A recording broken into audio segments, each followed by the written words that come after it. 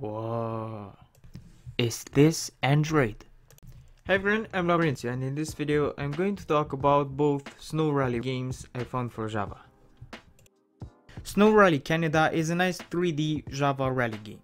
The game doesn't have championships, time trials or any game mode. You just jump into the game and choose from the 7 cars and 5 tracks and start playing. And it works out. The controls are similar to WRC FIA, the graphics are great, and overall, even if the game lacks events to give purpose to the game, it's still surprisingly fun to play. Snow Rally City Stage has the same mechanics and formula. You start the game from the select screen, you choose between 7 cars and only 3 tracks, and unfortunately the tracks look kinda the same, which is a bummer. But the game mechanics are the star. They feel great. Handling the car is great for a 3D Java game. They are the same mechanics from the previous game. And the game looks incredible too.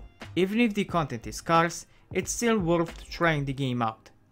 Its gameplay and beautiful graphics will lure you in for more than you would expect.